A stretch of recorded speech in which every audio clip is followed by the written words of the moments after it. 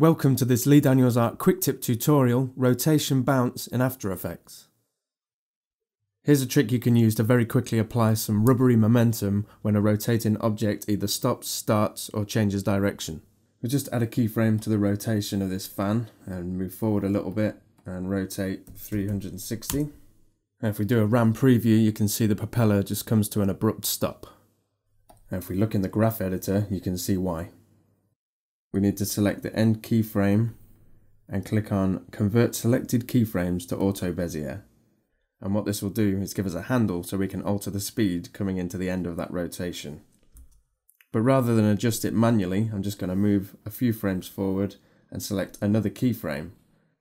So if we do a RAM preview, you can now see that the rotation has some momentum bounce at the end.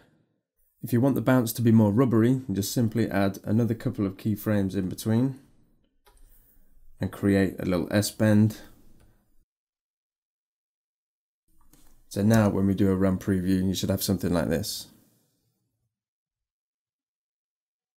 If you want to change the speed of the bounce, click out of the graph editor, select the last four keyframes, and then holding down the Alt key, you can just stretch them in and out.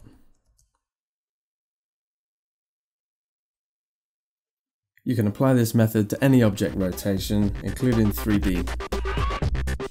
Right, that's the end of this tutorial. Please subscribe to my Lee Daniels Art YouTube channel where you'll find examples of some of my animated shorts, client work and news about upcoming tutorials.